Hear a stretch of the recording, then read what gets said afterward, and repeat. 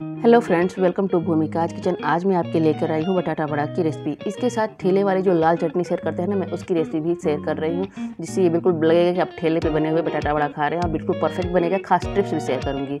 यहाँ मैंने चार उबले हुए आलू ले ली हूँ। आलू को ओवर कुक नहीं करना है, बस नॉर्मल कुक करना है। ज़्यादा पके हुए ना हो, ज़्यादा पक गए हो तो दो घंटे के लिए फ्रिज में रख दे, ठंडा करके इस्तेमाल करें। इन्हें मोटे मोटे चंक्स में मैं हाथों से तोड़ रही हूँ। मैसर का इस्तेमाल नहीं करना है इनको मैस करने के लिए। हाथ से ही छोटे छोटे चंक्स में इनको तोड़ लेना है।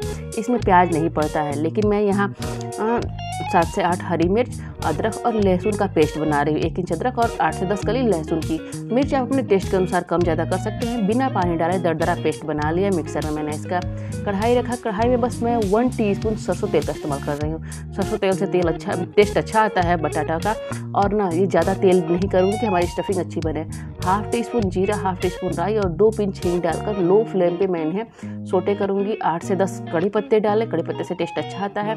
जो मैंने मसालेदार पेस्ट बना के रखे थे दरदरे, उनको डाल के भी दो मिनट भून लूँगी कि लहसुन और अदरक का कच्चापन निकल जाए। अब ये हमारे भुन गए हैं मसाले तो मैं इसमें आलू ट्रांसफ़र कर दूँगी, जो मैंने तोड़ के रखे थे मोटे मोटे चंक्स में। इन्हें अच्छे से मिला लूँगी मसालों के साथ। आलू भी हमारे भुन जाए। और देखिए, तेल बिल्कुल कम थी, मैंने डाली थी ना कि हमारी स्टफिंग एकदम ड्राई बने। यहाँ वन फोर टी स्पून जीरा पाउडर हाफ़ टी स्पून हल्दी पाउडर हाफ़ टी स्पून भुना धनिया पाउडर हाफ़ टी स्पून गरम मसाला पाउडर और वन फोर स्पून कश्मीरी लाल मिर्च पाउडर, वन फोर स्पून मैंने आमचूर पाउडर थोड़ा सा कसूरी मेथी को क्रश करके डाला। कसूरी मेथी से टेस्ट अच्छा आता है। ठेले वाले डालते हैं। आपने देखा होगा। कुछ लोग नहीं डालते। अगर आपको पसंद ना हो तो स्किप करें। स्वादानुसार इसमें नमक डालेंगे और सबको मिलाकर हम भून लेंगे। मैंने ड्राई मसाले बाद में डाले ना, कि पहले डालते तो ड्राई मसाले जल जाते हैं, क्योंकि तेल का कम से कम मैंने इस्तेमाल किया है, ताकि हमारी स्टफिंग बिल्कुल ड्राई बने।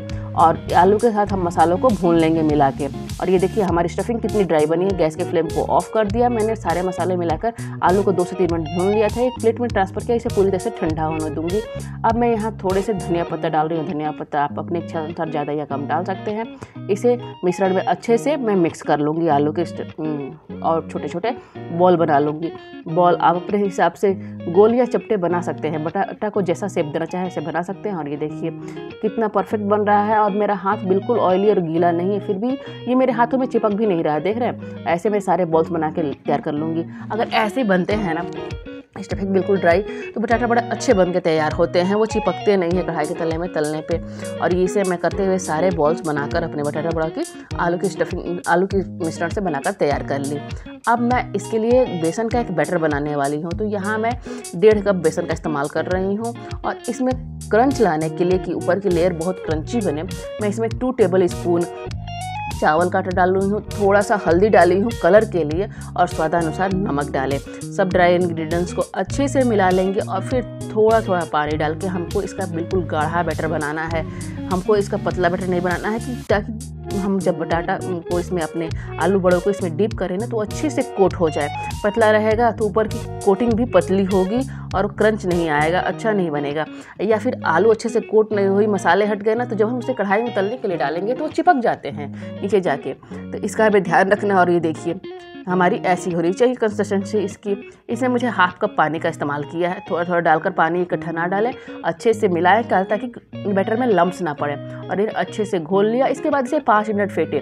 जितना ज़्यादा इसको अच्छे से पाँच से सात मिनट फेंट लेंगे ना तो उतना अच्छा है। बेसन हल्का होगा, इसमें एयर बबल्स बनेंगे और ये बहुत अच्छे होंगे। देखिए मैं इसकी कंसिस्टेंसी आपको दिखाती हूँ।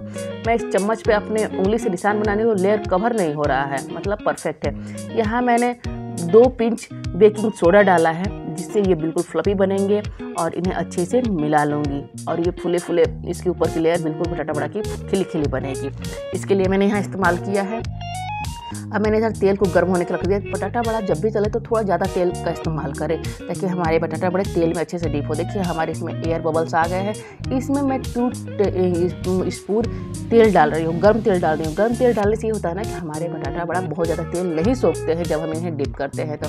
और इन्हें अच्छे से बटाटा बड़ा को जो मैंने गोल बॉल्स बना कर रखे थे, इन्हें कोट कर लूँगी। देख रहे हैं कितने अच्छे गोल हुए हैं। और अब मैं यहाँ तेल देख चेक कर रही हूँ। देखिए, थोड़ा सा डाला और ये नीचे जाके चिपके नहीं, ऊपर आ गए।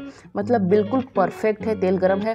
अब हम अपने बटाटा बड़ों को ऐसे चम्मच उठाएँगे और इन्हें हल्के किनारे करके जो एक्स्ट्रा बेसन गिरा लेंगे और इन्हें उल्टा करके डालेंगे। उल्टा करके डालेंगे तो ये जो बेसन की कोट होती है, नीचे जाती है और आलू ऊपर वाला जो रहता है, उसमें थोड़ा सा कम भी बेसन है तो ऊपर रहता है तो चिपकेगा नहीं। और ये जो किनारे किनारे लच्छे बन रहे हैं ना, ये मैं जानबूझ के बना रही हूँ। इनका इस्तेमाल मैं आगे चटनी बनाने में करूँगी, जो मैं आपको आगे दिखाऊँगी। और ऐसे कढ़ाई में जितने बड़े आपके चार से पाँच जितने आ जाए, उन्हें डालिए, एक साथ ज़्यादा ना डालिए और उन्हें मीडियम टू हाई फ्लेम पे कुक करिए और ये देखिए हमारे बटाटा बड़ा अब लगभग तल कर तैयार है, इनमें अच्छा कलर आ गया है और ये कढ़ाई में बिल्कुल कहीं नहीं चिपके हैं। और इनका कलर अच्छा गोल्डन आने के बाद आप इन्हें ऑयल से निकाल लीजिए। और ये बिल्कुल ऑयली नहीं है, बिल्कुल तेल नहीं सोखे हैं। इन, इन्होंने बिल्कुल तेल नहीं पिया है, क्योंकि इनकी स्टफिंग इनका बेसन का घोल बिल्कुल परफेक्ट बना था। और फिर मैं दूसरे बैच में ऐसे ही डाल के आपको दिखा रही हूँ कि ऐसे ही कोट करें बेसन से और चम्मच उठाए। चम्मच ऊपरा हिस्सा जो है ना, उसको नीचे पलट कर डालें ताकि हमारे बटाटा बड़े में बेसन की अच्छी कोटिंग हो तो नीचे जाके चिपकेगी नहीं कभी भी आपकी बटाटा बड़ा। और ऐसे ही मैंने दूसरे बैच को भी तल तैयार कर लिया। और इनका कलर भी बहुत अच्छा आया है। तो ये हमारे बटाटा बड़े बनकर तैयार है। अब मैं आपको बताती हूँ लाल चटनी। जब मैं इसको तल रही थी तो सेब के जैसे ये कच्चे मतलब बेसन के लच्छे बन रहे थे। इनको मैंने निकाल लिया और अलग रखा।